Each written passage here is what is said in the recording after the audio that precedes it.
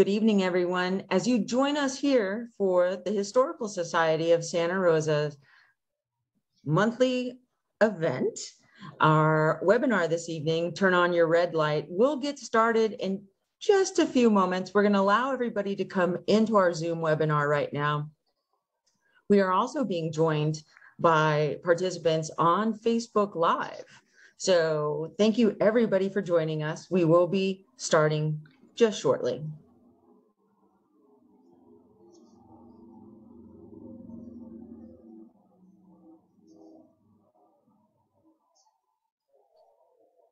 And at this time, I see that a few participants have joined us here on Zoom, and we will be getting going. As more start, as more come in, we will certainly welcome them as well.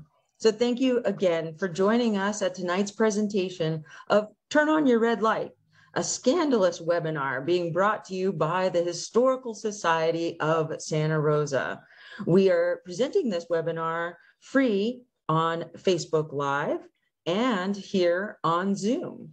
Although we do have memberships available for the Historical Society of Santa Rosa and contributions are welcome.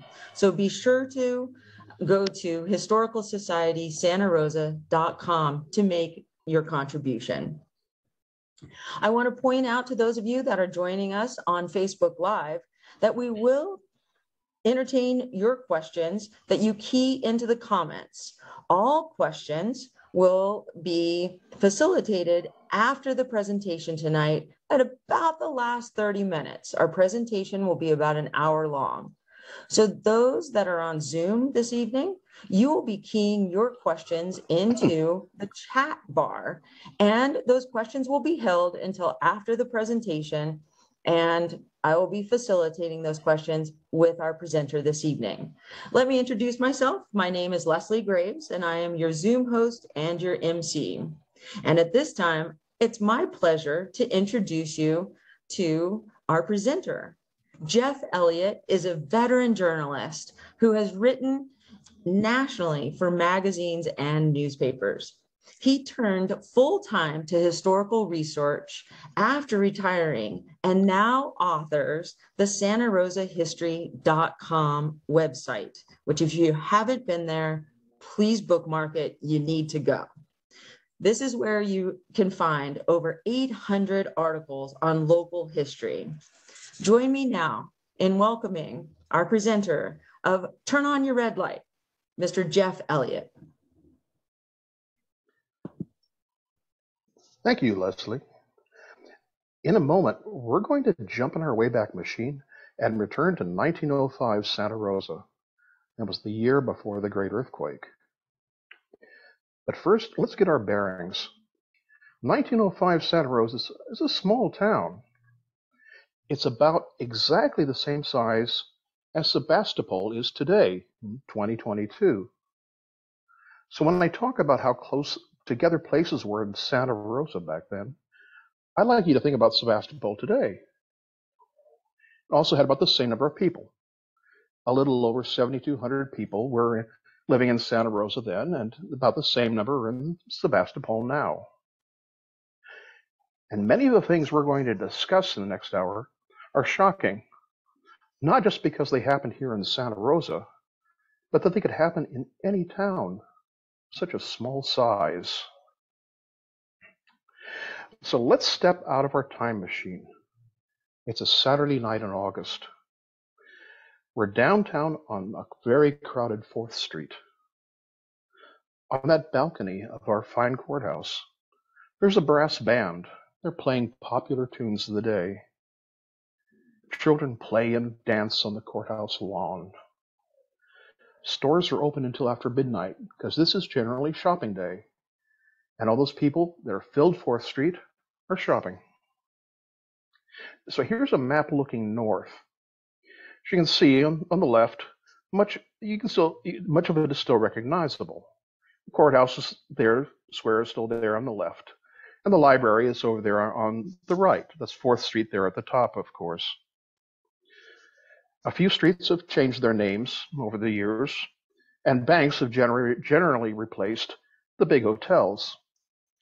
But there's one big difference. This was our red light district. Santa Rosa had 11 brothels centered around First and D Streets. And many of those were large buildings, and some had two stories.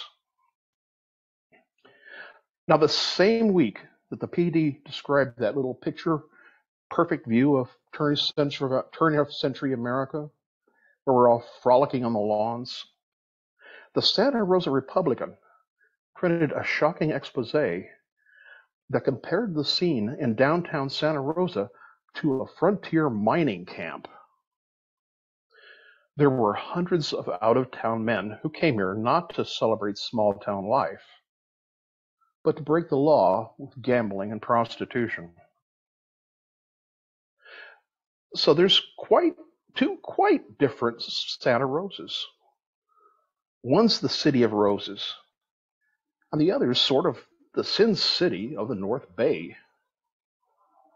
Now, if you read history enough, you know that history usually ends up being more complicated and messy than you'd expect. And we're about ready to wade in deep into some serious historical muck. Remember that I told you not to wear your good shoes. Until the 1905 newspaper expose, the powers that be pretty much ignored that there was any sort of community problem here, much less any ongoing and blatant criminal activity. That includes Santa, Rosa's government, the business and financial interests, interests in town, and both the Press Democrat and the Republican papers. When the fi- PD finally conceded there were some serious problems, the editor waved it off, suggesting the Santa Rosa Tenderloin it had emerged on its own about a decade after the Civil War. Well, I call bull on that claim. It's most likely that the criming started in the late 1880s and was nurtured by the town's leadership. Believe the story actually began when Kroncke's Park opened in 1886. Now, this was a privately owned amusement park. It's where 4th Street meets McDonald and College Avenue. Today, it's an apartment complex. For 25 cents admission, the attractions included races and weekly special events such as the sword contest, where you could watch a couple of guys whack at each other in a medieval sort of way. They also had an, an enclosed bowling alley, and there was a little swimming pool in the back towards the, where the creek was, and it was generally lots of fun. But notice here in this ad, at the bottom it says Grand excursion from San Francisco.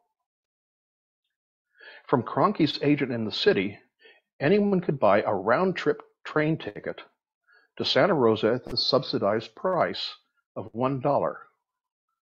And up to 1,500 San Franciscans came up to Santa Rosa each Sunday. These special trains continued throughout the rest of 1886 and the next three years that followed. But problems mounted because these trips were attracting more and more troublemakers. There were free for all fights at the park, all night drunken carousing, and people being assaulted on the sidewalks. There's quite a contrast. A newspaper article noted that the excursions to this city and Kroncke's Park Sunday was made up chiefly of hoodlums. But Another item from those years said brightly, We have begun to look upon Kroncke's Park as a necessity. In fact, it would be difficult to tell what we would do without it. What a conflict.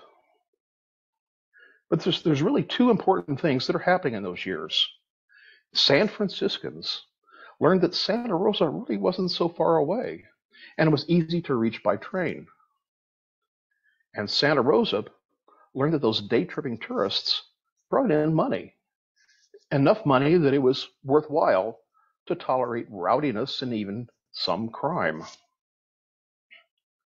Well, the park closed in 1890, and I've written in the past that there have been hints the following years that Santa Rosa was essentially developing an underground economy that was based on saloon gambling and maybe, maybe prostitution. There was a very popular minister at the Presbyterian church here, and he was fired. The reason given was that he had greatly displeased some of the wealthiest members of the congregation. According to that same article in a San Francisco paper, it was because he was railing against dancing, card playing, and other matters. Well, from the context, it's clear that the preacher's objection to dancing wasn't against the social dance parties that were regularly held by churches here around town.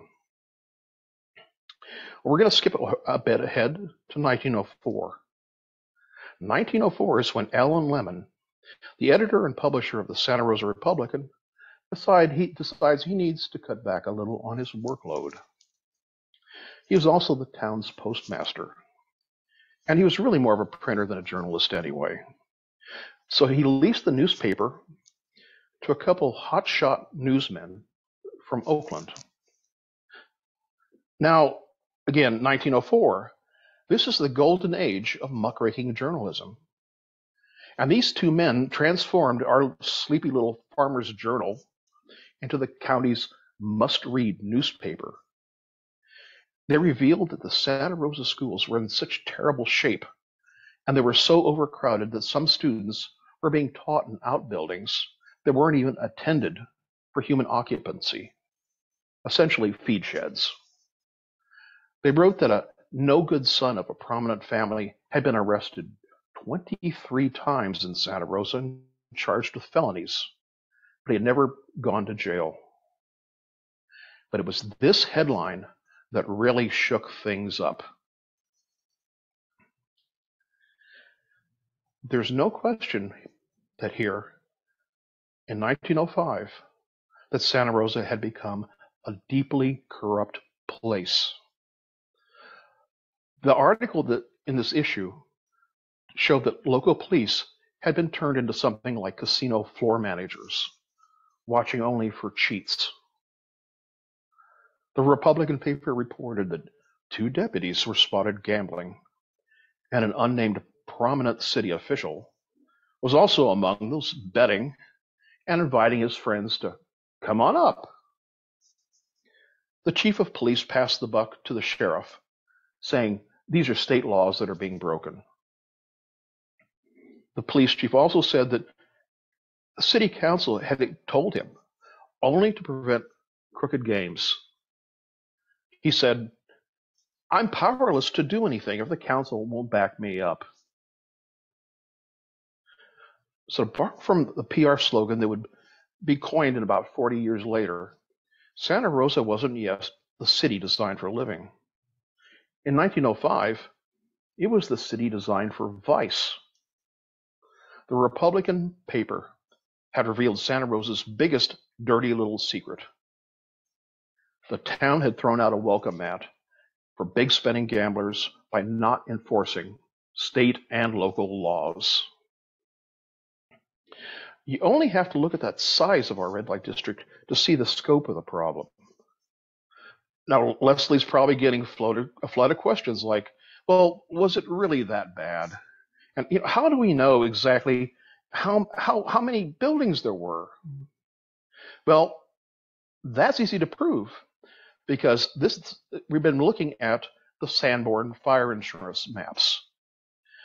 These show every building within city limits, including outhouses, and indicate how the buildings were being used.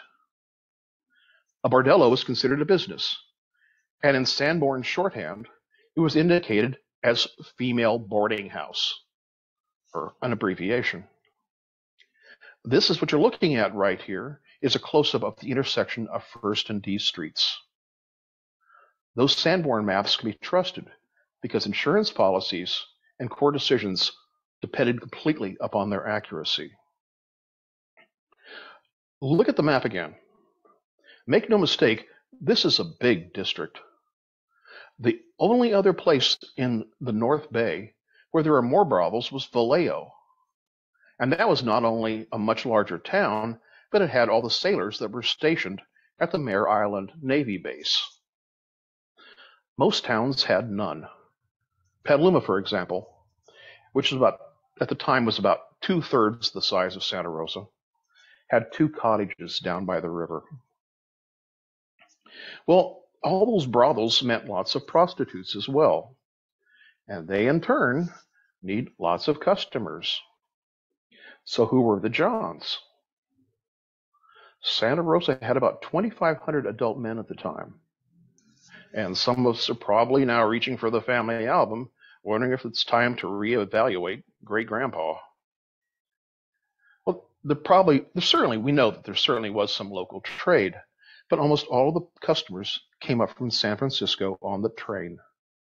And they came by the hundreds, just as they had done in the late 1880s.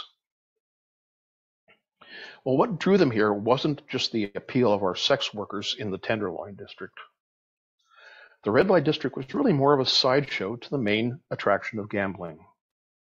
The top money draw here was horse racing. Sonoma County's reputation for breeding championship horses dates to before the Civil War. This is Lou Dillon, who broke a world record and was bred, raised, and trained here at the Santa Rosa Stock Farm, which is now the, the county fairgrounds. This, this horse was raced nationally for years and even was, was sent to Europe for a tour. The number of visitors who came here to bet on races and the amount of money they gambled could be substantial. Even an off season race could draw 500 men from San Francisco, and side bets on the racetrack were mentioned that paid twice what an average American worker made in an entire year. But Santa Rosa was a gambler's mecca, even when the ponies weren't running. The saloons and hotels along 4th Street and Main Street were openly running illegal games, including roulette, craps, faro, and Klondike. And the Republican paper revealed that boys were welcome to bet in the, these back rooms alongside professional gamblers. And there were a lot of those back rooms. So if your luck was bad at one place, you were never more than a few doors away from another, particularly if you're staggering down 4th Street. Now, I don't know exactly how many places there were to drink and gamble in 1905, but after the great 1906 earthquake, every bar owner had to reapply for a liquor license. And the newspapers printed that list there were more than three dozen applications. Given that many buildings still had not been rebuilt, it's, it's pretty safe to say there were even more than that in 1905.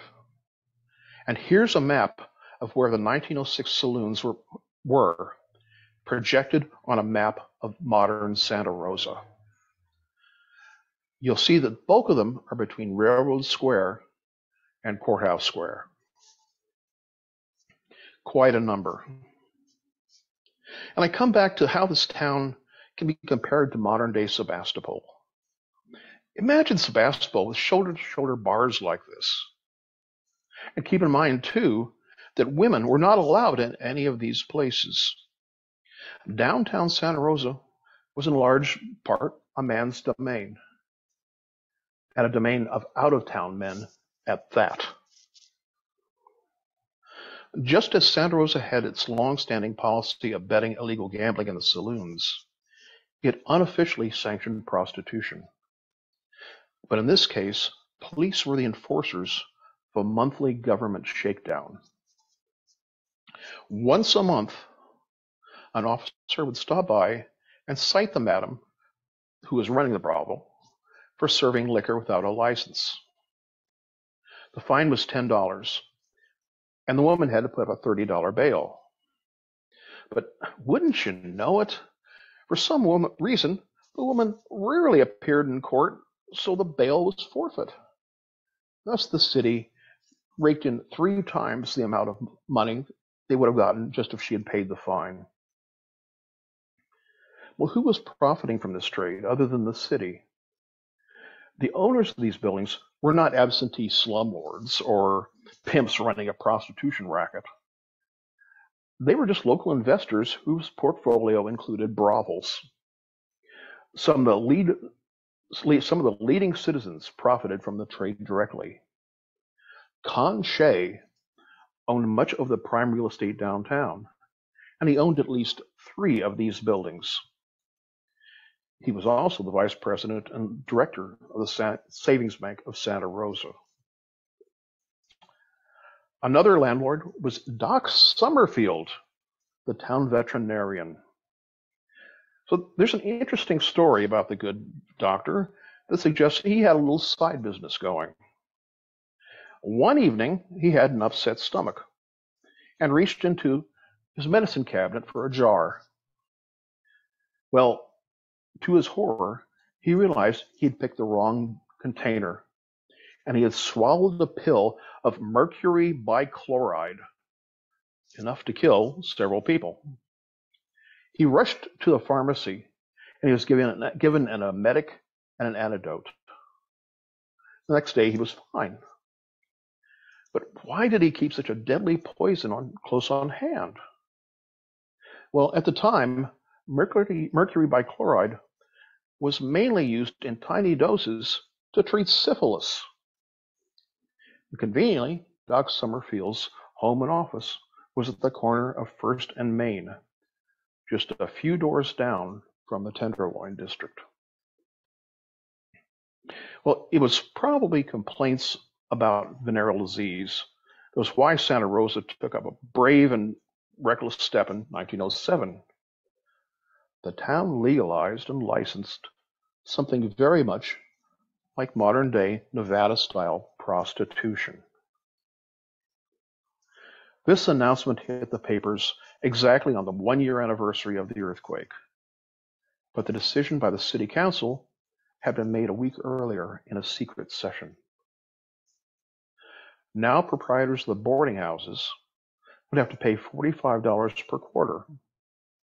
The guests who lived there would have to be examined by a medical doctor every two weeks and forced to leave if they were found to have any contagious or dangerous disease. Well, as you might expect, the respectable citizens of Santa Rosa erupted in outrage. Religious leaders and outraged public figures queued up to denounce the decision at a standing room only meeting. And well, sorry, nothing could be done. The council had the power to do this under the new city charter.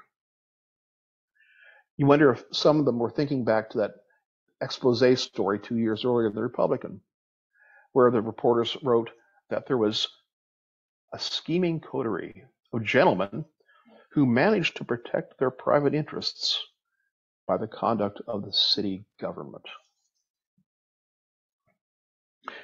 And that's how matters stood for five months. Then a woman who lived nearby filed a lawsuit. But she didn't file, she didn't sue the city or the city council. She sued the landlord of a brothel at 720 First Street. Miss Nancy Lou Farmer claimed her property values had dropped and the, the home comforts of the family have been destroyed because the plaintiffs have compelled her to listen to the vile, obscene, and profane language of the inhabitants. It was further alleged that the person there had been seen in immodest dress and even in the nude. Miss Farmer was uh, a sixth, fifth and sixth grade teacher at the Fremont School, and here she is with her class in, I believe, 1908. This is unfortunately the only picture I've ever been able to find of her. The man she sued was Dan Beamer, who owned the sporting goods store downtown. Beamer had the building custom built to be a bordello in the style of a crib. That meant there were many small rooms only big enough for a bed, a table with a washstand, and a chair.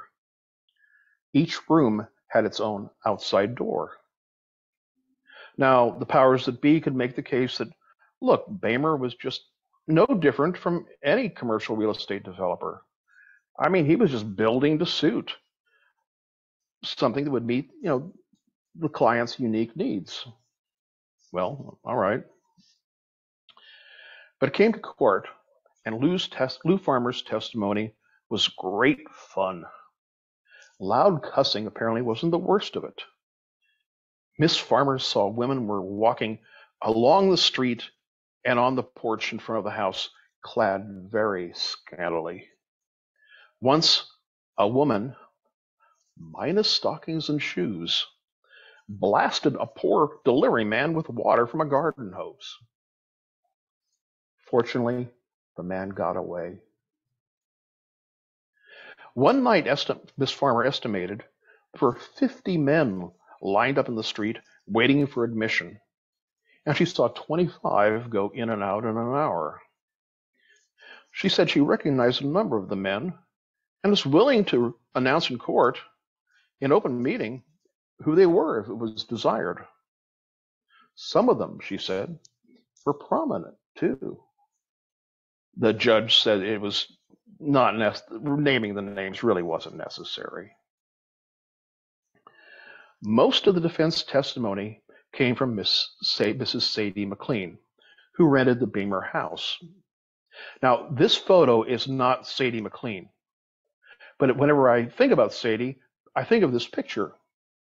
This is the mugshot of a madam who was about the same age as her, who was locked up in San Quentin at about the same time. I particularly like that they allowed her to wear her hat to prison.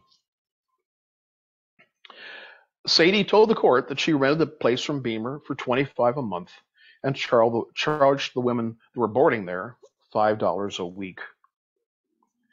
There were other witnesses, including Bernie Hibbard and Opal Browning, who admitted in court that they were living at the boarding house and plying their, plying their, their vocations as sporting girls. Well, the judge ordered the names of the other women who were listed in the physician's certificate book to be read in court. Now, the names list of names was like a dainty list of flower flower titles. There were violets, daisies, lilies, rosies, pansies, flossies, and one Gladys and one Bernice. To all these, the notation from the doctor was they were found to be okay. Called back to the stand, Miss Farmer continued. She and her aged mother were continued witnesses to the disgusting scenes that were enacted at the McLean house. The nearness to her property had ruined the enjoyment of her home, and the injunction suit was her only relief. Otherwise, she'd have to change residence. And here's the believe it or not twist to the story Miss Lou and Mrs. Sadie were not actually neighbors. The farmer house was on the next block, two lots east of the boarding house. And beside the spacious backyard behind their home, the farmers had a fence on First Street. The only way Miss Farmer could have witnessed the disgusting scenes was by peeping over a backyard fence and sideways at a sharp angle. Alas, Miss Farmer was apparently not asked to explain exactly how craning her neck over a fence to get an eyeful of the doings two doors down on the next block had ruined the enjoyment of her home. But the court finding was for Miss Lou Farmer. It seemed that the city ordinance had not explicitly authorized the occupation of prostitution. Well, the Blue Nose faction in Santa Rosa claimed this was a, a mandate to shut down the entire red light district. And at the end of 1907, the district attorney said he would be personally taking charge of the prosecution of anyone leasing or renting property for immoral purposes. No, didn't happen. The next insurance map shows only two of the 11 bordellos had closed, and Beamer's place remained a crib house. Police resumed busting madams for liquor violations, including Kitty Gallagher and the dramatically named May Tempest. Following the city's elections in 1908, the city council repealed the prostitution ordinance as its first act of business. They vowed they would close the red light district. But the clique that ran the town really wanted to keep the red light district around at all costs. They floated several ideas. The craziest one was to create a special tenderloin district on West 6th Street, perhaps something like New Orleans Storyville. Well, the plan to dump the prostitutes on the Italian neighborhood showed there was no plan whatsoever and no city leadership. It was one thing to posture and make fine speeches about cleaning up the town, but not so easy in practice. All this time, an appeal on the farmer decision was working its way through the courts. Finally, in April 1909, the state Supreme Court upheld the decision. A property owner may not injure his neighbor by permitting the premises to be used for prostitution. In 90 days, the red light district would be no more. Long story short, Santa Rosa's Tenderloin is finally coming to an end, and closing only because the court had ruled that brothel property owners, the rich and respectable men, could be pro- could be prosecuted. Now, they weren't ready to give up quite that easily. And several of the landowners, particularly Con Shea, came up with the noticed that in the original decision that it said that the, the, the property couldn't be leased for, pros, pros, for prostitution. Aha, loophole, they apparently thought. So they had the madams sign rent to buy contracts so that the uh, it, would, it would appear that the the madams, if they own the property, it might be it might be perfectly illegal. Well, the DA had other opinions of that and went to court. There was a long trial, and the jury was out for six hours, came back as a hung jury. There was never an attempt to bring it back, so the idea was dropped. The local prohibition newsletter, however, mentioned that some of the former denizens of the suppressed district had taken up their abode in other places in Santa Rosa. It's likely that there was a Santa Rosa Blue Book sold under the counter at saloons and cigar shops. These advertised where to find the women. These tiny booklets were small enough to fit to discreetly tuck in, into a vest pocket and were commonly found in big and small cities of that era. But even if the ban was loosely enforced, it closed the chapter on 20 years of history of Santa Rosa's downtown Tenderloin. But, however, it was getting ready to fade away anyway. And what killed it wasn't a court decision or moralistic crackdown, it was the automobile. Also in 1909, roadhouse scene began to explode on the outskirts of town and along the whole stretch of the Sonoma Valley Road. This is a roadhouse outside of the town of Sonoma, but there are many others that were called the One Mile House, the Two Mile House, and so on.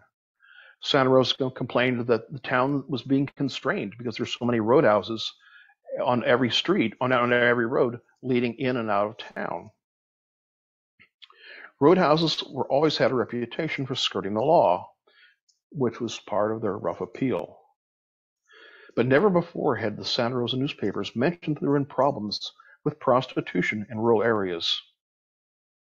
Soon that was going to change, such as when a large brothel outside of Sebastopol was raided and closed. Now, this isn't the time and place to dive into Roadhouse history, but I'll say only that prostitution in the greater Santa Rosa area probably increased since out of towners arriving by car didn't have cars, since out of towners arriving by train didn't have cars, however, well, how did they get to the roadhouses? Well, that's easy because starting in late 1910, a new Santa Rosa taxi cab company was popping up every single month. And about the same time, the booming playland along the Russian River was getting underway. The railway coming up the coast from San Francisco finally connected with a little train that rattled along the river. And every year, there are new places opening along the river, making a nearly continuous party scene. Well, in our five year journey from 1905 to 1910, what actually changed? Not much, really. Great crowds of men came up here for the races, except now the betting at the track near downtown was on, on autos and not horses. There were just as many saloons, but in 1910 at least, they finally passed an ordinance to keep the children out of out of the, the saloons. The prostitutes and madams of Santa Rosa's red light district were still around, just considerably more discreet in their trade. In the 1910 census, Sadie McLean was no longer at Bamer's crib. She had moved a couple of doors down to an even larger house. In the census, she listed her employer as living on her own income. Several other women that we know were madams were at the same addresses they'd always been at. But now they were just supposedly running a rooming house.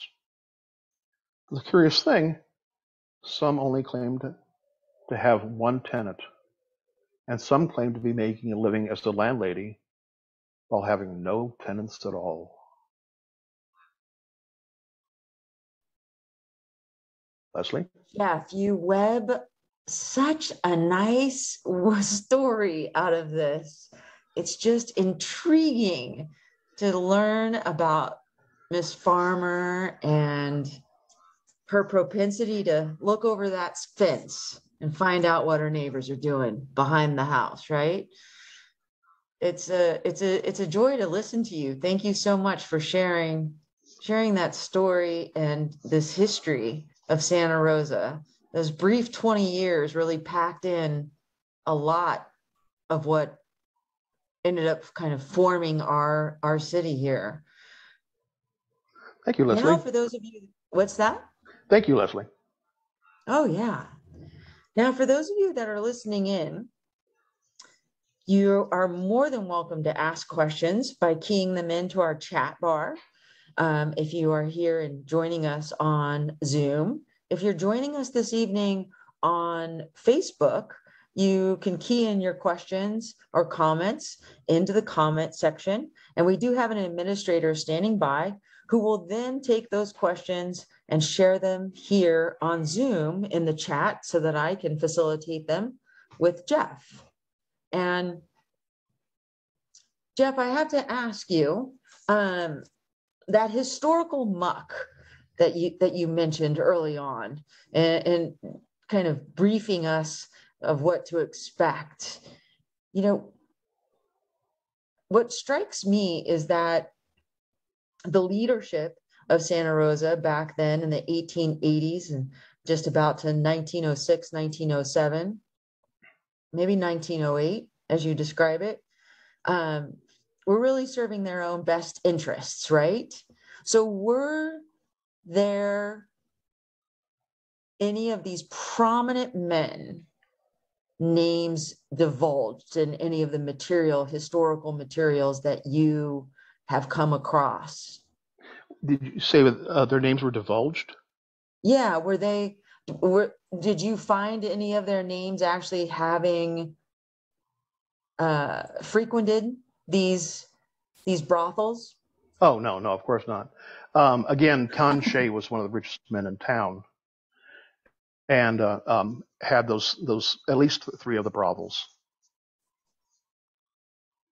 Right. See, and and what a name, right? Con was it? Was that short for something? Cornelius. Cornelius. Okay. Cornelius All. Right. What's interesting, you know, is when you look at, of course, the normal histories, you know, they say, oh, Cornelius Shea, he was, you know, this this this famous cattleman. Well, yeah, um, he had cows, um, but he also had, you know, other interests in town, such as, well, this. And it goes he... on to in, in, a bit that there was, you know, um, we, we, we didn't touch at all about how the this was what started in 1905 was start of a, of a reform movement here in Santa Rosa. And there was something called the Municipal League that really did try to clean up the, the town. Vice president of the Municipal League was this guy named, oh, what's his name? I can't remember. Oh, yeah, Luther Burbank. Um, and there most mostly it was uh, a temperance movement, or at least you know it was to um, uh, close down the saloons. But you, you know, you, you once you look at that map again about how there were 30 over 35 saloons downtown, you realize that it, something really had to be done. I mean, this whole town was off, essentially off limits to women. There were no restrooms available unless you went to a, res, uh, a restaurant or the library. And they even tried to shut down the women's restroom in the library to make it another men's reading room. Hmm. So, so what you're saying is that was to keep the quote unquote proper women in their place, so that they didn't see the deal, the doing, the dealings that were happening downtown. Well, um, the original picture, you know, that of the of of the Saturday night down, down downtown was true. The Press Democrat described that many times and it really was you know this very sweet little little um, thing like River City and the Music Man. We were all coming downtown to shop, and there's families there. Know, everyone's wearing their Sunday best. They're having a good time. But again, if you walk down a little bit more towards Railroad Square, it's a gets to be a pretty wild scene with the saloons.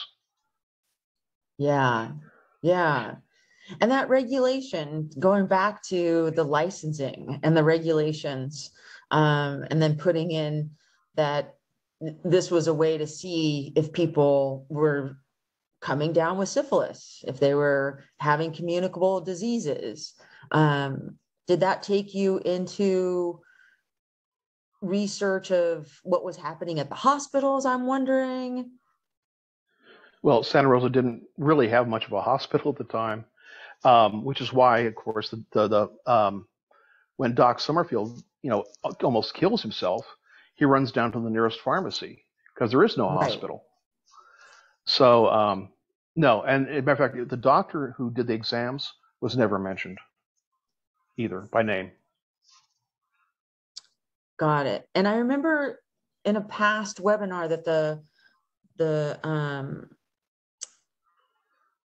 these kinds of pharmacies um, there were there were a number of pharmacies right there were a number of really small little pharmacies around town as well so that kind of makes sense yes and this, and this one was next to the empire building that he went to one one thing i really probably should have worked into into the presentation is this also underscores how unique santa rosa was in terms of being a, such a compact little city you come in on the railroad, you came in on the train at Railroad Square. Four blocks, you know, you have four blocks there of saloons and you're at Courthouse Square. So if you're then walking over to um, the track, which is now the county fairgrounds, you're angling through the red light district. So it, it's it's a very walkable town in 1905 if you're uh, again a man that's interested in gambling, prostitution, and gam or, uh, and saloon gambling. Right, right. And you mentioned the automobile and that changing the landscape, and then making these um, these watering holes outside of town. Can you add a little bit more to that? Well, I've written a great deal about about the roadhouses, um, and it was it was just a riotous scene that that went on there. Um, Jake Luppold had the most famous saloon in town. It was right off of right up, right off of um, the courthouse, and there was so much money in the roadhouses that he closed it down and opened up a roadhouse out by um, um, the Catholic high school. Uh, and anything went at the roadhouses. Matter of fact, there's a whole the whole other angle of the roadhouses is it essentially brought corruption to the board of supervisors at the county level because the roadhouses had had a requirement to get a liquor license. You're supposed to actually be in a hotel, and suddenly all these places saying, "Oh yeah, we're hotels. We have 40 rooms," and what they were doing were claiming that chicken coops and you know uh, sheds were bedrooms. Mm. And the approval for this was all dependent upon a member of the Board of Supervisors. The whole thing, on the, in, particularly on the San, uh, Sonoma Valley, uh, was just over the top. There was, uh, it's also not to get into it, but in not, also in 1909, there was a famous uh, place in um, El, El Verano run by Lou Parente, who was later became, you know, the one of the uh, main stopping points for the gangsters in the 20s and 30s, particularly Babyface Nelson. And Jeff, I might, I I do need to mention right here that um, just for those of you that are joining us this evening here on Zoom, it does look like our chat is having some technical difficulties. So we're not actually getting your chat here. Um, I am taking some messages right now uh, via text. And so I'm going to do something that uh, is somewhat unheard of. It's scandalous as well on a webinar, but I am going to avail my cell phone number um, for questions.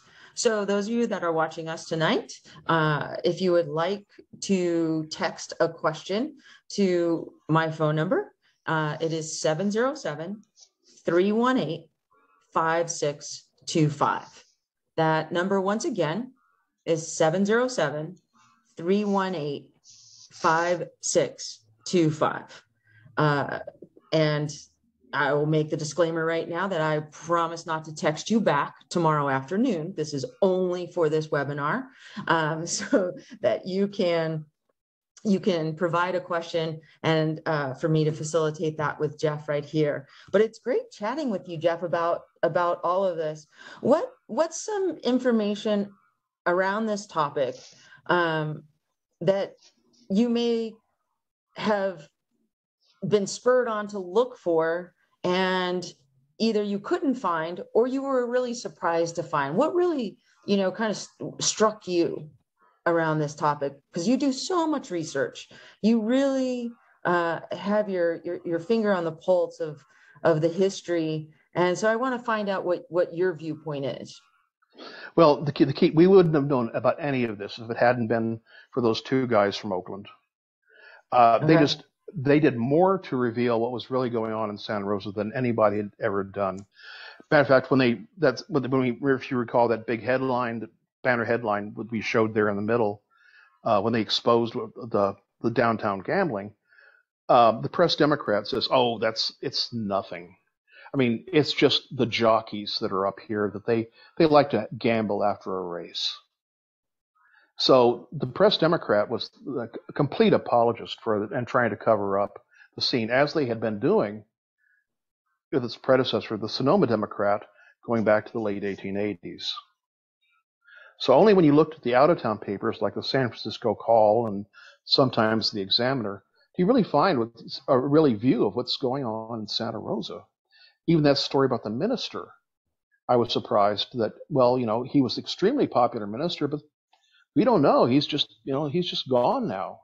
But in the San Francisco Call, you find out that, well, the wealthy men in the church didn't like him for some reason because he didn't, he, he objected to cards and dancing. Yeah. And so hats off to the reporters, right? Hats off to the, to the, the new, the newsies. Um, do have a message here from none other than Ray Johnson. You know Ray. Uh, one, he says, "Great job, Jeff," and he also uh, said that you know it's too bad that there isn't any photos of these houses. Uh, have you come across anything like post? I know postcards were big, right, during this time period. Yes. And people would actually send pictures of their houses in postcards. Do you ever come across anything like that? There's one shot um, that I, I, briefly considered using. It's from taken from the uh, roof of the courthouse, and you can just see the roof of a couple of the buildings. Okay. And there's but there's no, and there there are lots of street scenes of Santa Rosa from particularly from 1905 and I think 1908, but nothing on First Street down there. That was just yeah. you know not not uh, something you would you would want to take a look at. The interesting right. thing, though, that was that Beamer's crib. Um, you know, it, it's clearly was, you know, like I said, a crib house with individual doors for going in and out. The women were charged uh, 50 cents a visit, whether it was for an hour or for, you know, the evening. Um, but they were able to go discreet. Their, their their their Johns were able to discreetly go in and out through the door, their own door. And I'm really curious about women's health during this time. I mean, you know, you you mentioned, um, you know, the syphilis and and this these are kind of male centric stories, but I understand, you know, much of the newspaper copy or any information that you can find is usually around the men's stories. Is there any of the women's stories beyond like the Miss Farmer? Um, you know, uh, or maybe some of the brothel owners. Are there some of the some of the the actual workers? Do we have any of those stories at all? Oh yes, but not from Santa Rosa. But oh. I've done did two extensive um, articles because the there was this grand house just outside of the town of Sonoma that was taken over by the state and used to um, around World War One to house prostitutes because they were scared to death. There's a whole campaign that you know we would send soldiers off to Europe, and uh, you know they would have venereal disease. So, the matter of fact, the picture of that woman I used for Sadie McLean comes from a whole list, a whole whole book of mugshots from San Quentin of these women. So they were they were those they finally decided, well, we can't keep them here at San Quentin all the time we'll ship them off and we'll to this farm out of the time out of the town of Sonoma. So there's a quite a, a, lengthy article by there. Just go to my website and type in the word syphilis. Uh, I I think that's the only time in my life I'm ever going to say that sentence. Uh, and remember, and remember too, the syphilis was an incurable, and it really was an incurable disease at the time. We didn't have antibiotics at, the, at in that era. So mercury by bichloride was commonly used as a treatment, but it certainly couldn't couldn't have probably, probably couldn't have cured it unless it was a very very mild case caught early. Yeah. And I want to remind our participants that are joining us this evening, and thank you all for joining us um, either on Zoom or on Facebook. On Facebook, you can uh, key in your questions into the comment section. Our administrator does have my, my cell phone number and will be texting those questions to me. Those of you that on Zoom, I apologize for the uh, lack of being able to key in your questions into the chat. We apologize for those technical difficulties, but I can uh, provide you with my cell phone number, which is 707 318 5625. And you can send me a text. I'd be happy to ask your question to Jeff as we have him here with us this evening. Uh, I also want to make mention that Jeff, uh, your your website in and of itself uh, is called santarosahistory.com. Um, it, it's so much of a blog. It's a history blog, I would say. Would you cap- would you say it's that? Well, um, yeah. you just you're so prolific i mean it's over 800 entries right how, how much are you up to now actually it's it's it's not quite yet 800 i think this are the okay. the resource page i'm going to do um, after this is uh, 797 or something like that well um, okay we'll, we'll give about, you those three or four it worked I, for, fortunately it's wordpress and you can do all these fun things in wordpress like say how many words have I written, and it's now um, so I think it's a little over 2.3 million. 2.3 so, million words. Yeah. So if you you printed them all up, you'd you know, you'd have a nice stack of books you could use to prop up that broken leg on the coffee table. There you go. Yeah. Or, or the baby's crib, you know, when they get a little stuffy, get the head of the crib up, right? Sure. Um, well, and I want to make mention that it's such a resource on your website. I mean, when any of us are looking up something, uh, Santa Rosa History.com comes up. I mean, a lot of people stumble upon it their first time just because they're looking up something about their family history or something about maybe their house.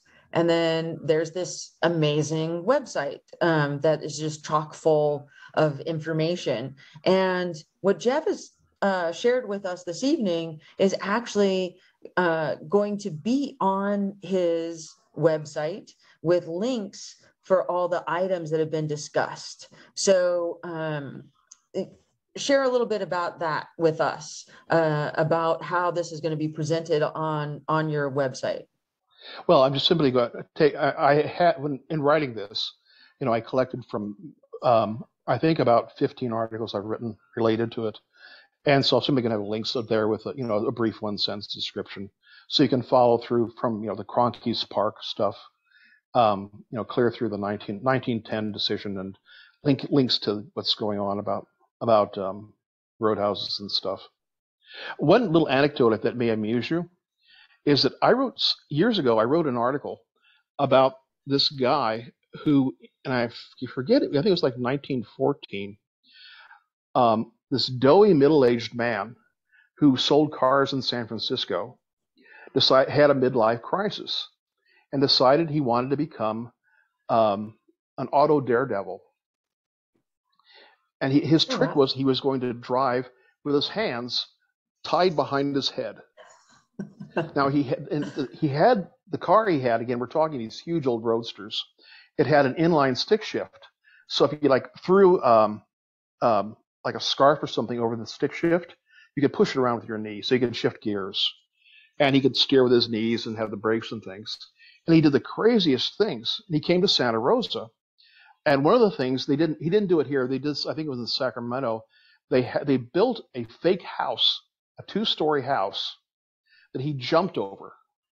So he would they had this big ramp. He'd speed up the ramp and jump over the house and come crashing down on the other side. Uh, and his other shtick was they, they they would do midair crashes. But again, we're talking you know 1914 Oldsmobiles. These things were huge. So it was just the most amazing story. And then like months later, I got a note from somebody in the family that says, "We didn't know about anything of this. It had been it had been completely lost to the family history." They said that my grandpa did this. so that was quite that was quite a surprise. That was quite a delight. That that's I, I love that. I love that story. I want to share with you now. Um, Denise Hill actually has shared with us that Con Shea's uh, impressive house. Uh, uh so his yes. house oh, yes. was moved. Yeah, you you you know this from Mendocino Avenue now, and now resides on the 600 block of B Street in the Rose in the St. Rose Historic District. So um, so you, I'm sure you can tell us a little bit more about that. Yes, that's that's his his family house, of course. That wasn't one of the houses. That wasn't one of the bordellos. Beautiful, beautiful house. Um, it's now a, it's now a rooming house. Uh, but if you ever go down there, that area, just take a moment to appreciate it. It's just full of these gorgeous details.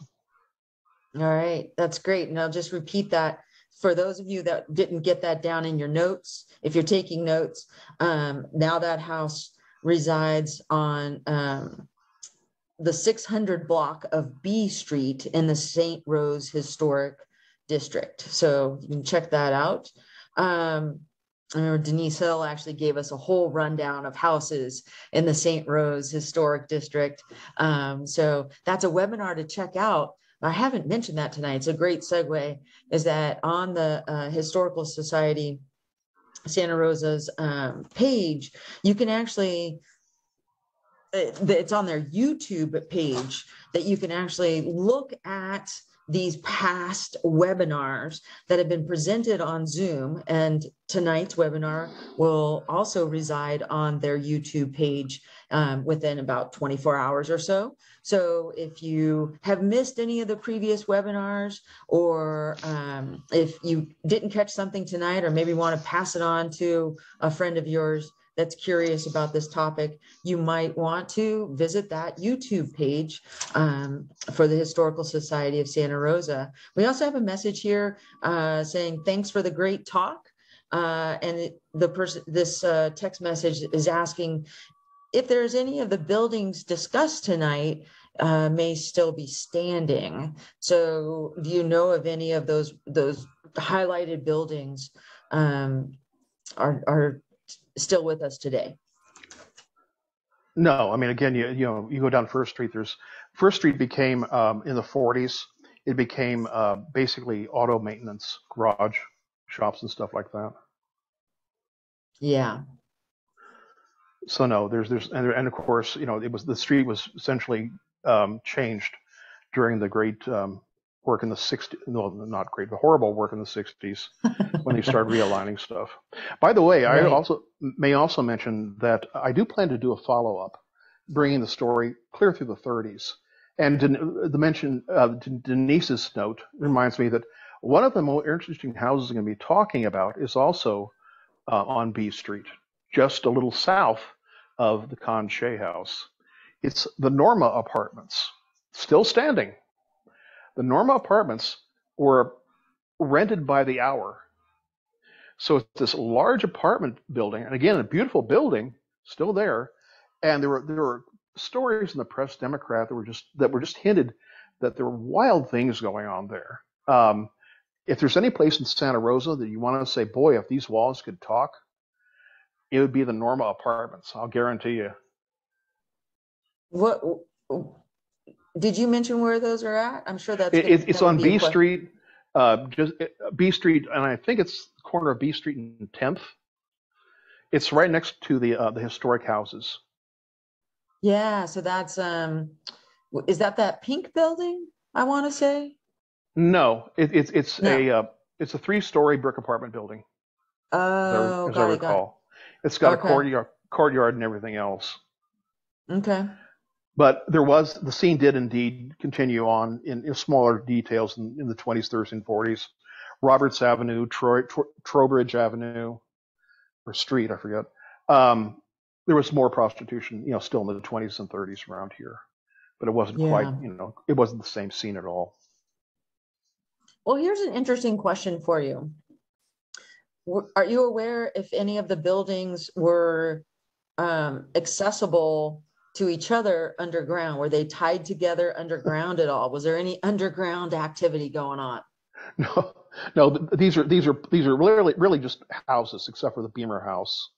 There and some of them. Uh, when I mentioned that two of them became um, stopped being um, bordellos.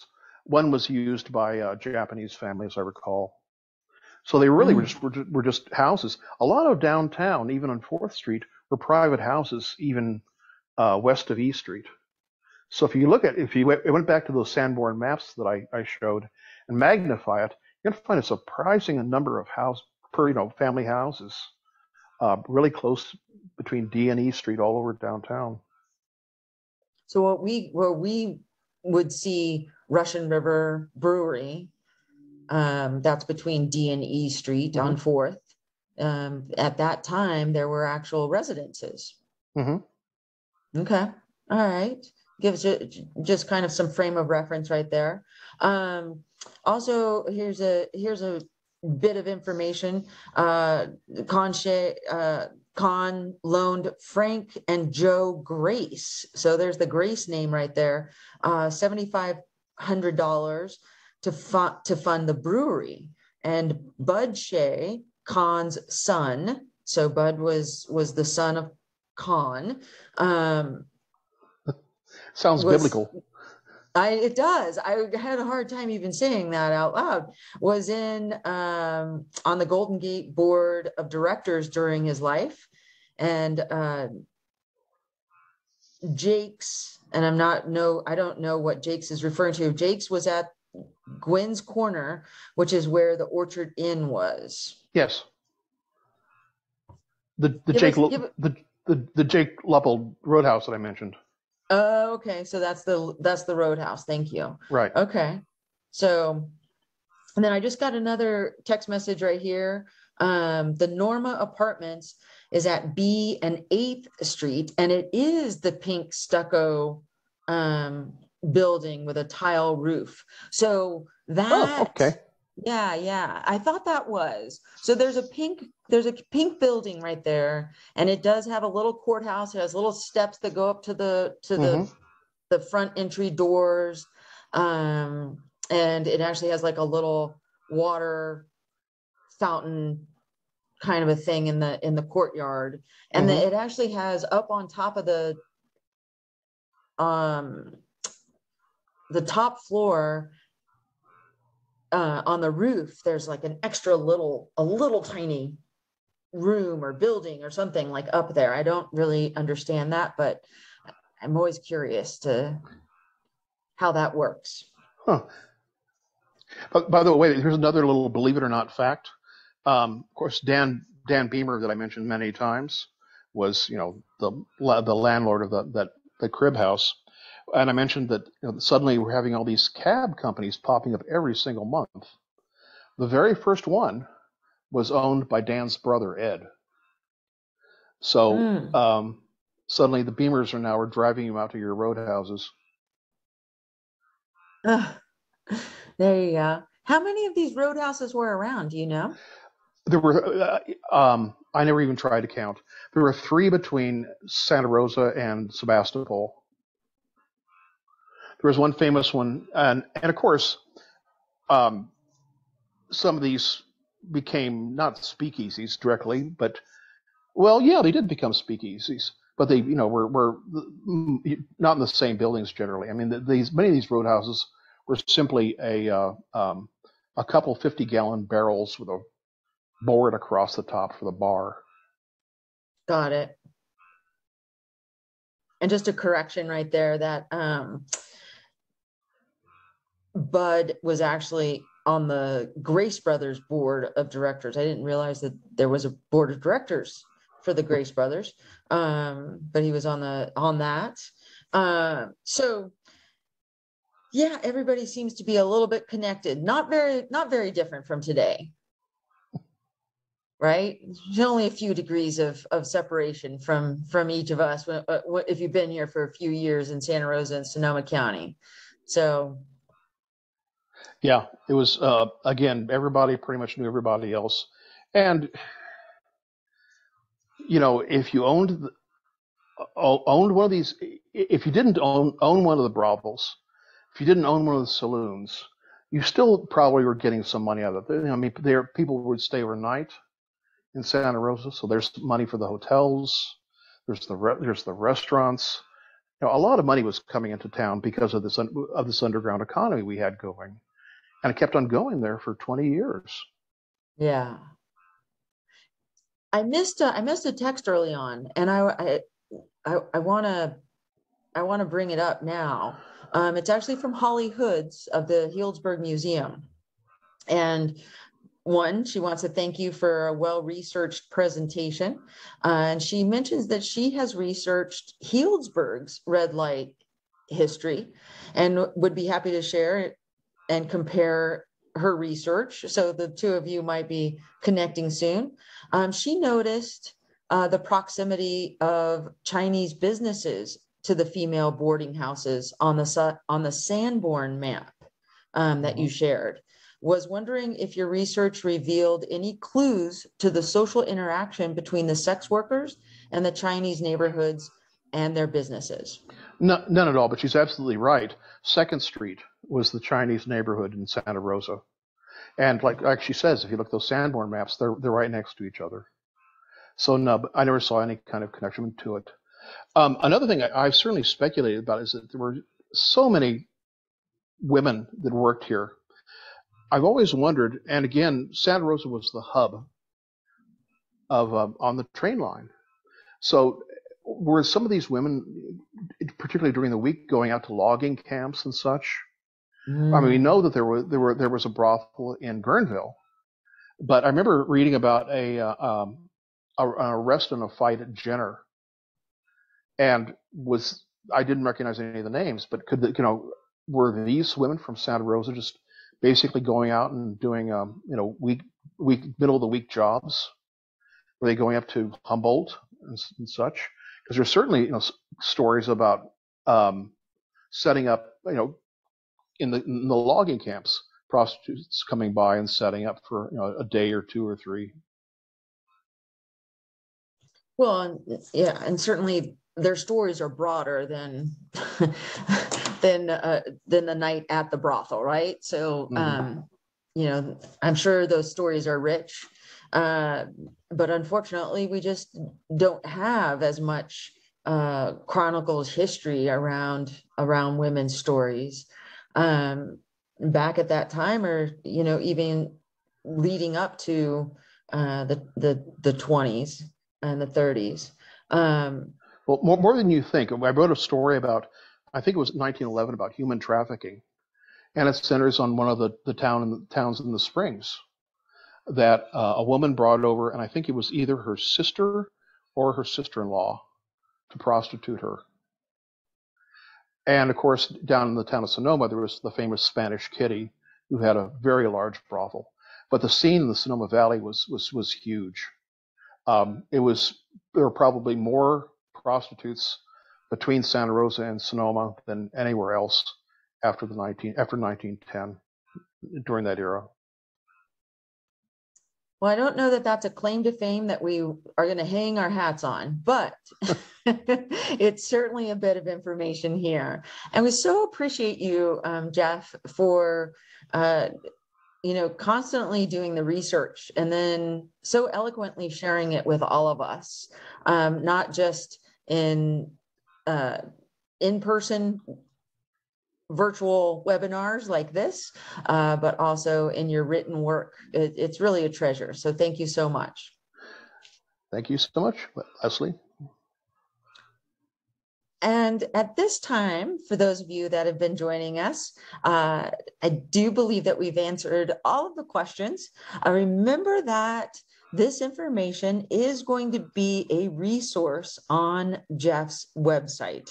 So do check that out if you haven't already. Like I said, bookmark it on your laptop, on your computer, santarosahistory.com. It is full of information. You are going to find a little bit about just about everything. Um, but tonight's information will have links to all the items that have been discussed. And remember that tonight's webinar itself, this recording will be uploaded onto the Historical Society of Santa Rosa's YouTube page. Um, so do look at that. And I do want to make mention of the Historical Society of Santa Rosa's website itself. You've got the URL right there, Historical Society Santa Rosa.org. That is where you want to tune in for upcoming events that will be coming here in 2022 as well as 2023. And you also want to avail yourself of the Historical Society of Santa Rosa's website in order to become a member and to make your donation. Uh, those donations help to keep the Historical Society going, and they do enjoy you joining and becoming a member as well. So it's been an absolute pleasure to be here with all of you this evening. I hope that you all gained a bit of information and maybe made a little bit of the scandalous information that we thought we were going to be getting not so scandalous, actually. It was part of everyday life. It was part of how our city was built, and it is part of our history. So thank you once again, Jeff Elliott, for being with us here this evening. And to everybody, I hope you have a great evening. Stay safe out there, and we'll see you at our upcoming event. Make sure to check it out at the Historical Society Santa Rosa dot org, and that will be listed soon. Have a great evening, everybody. Take care.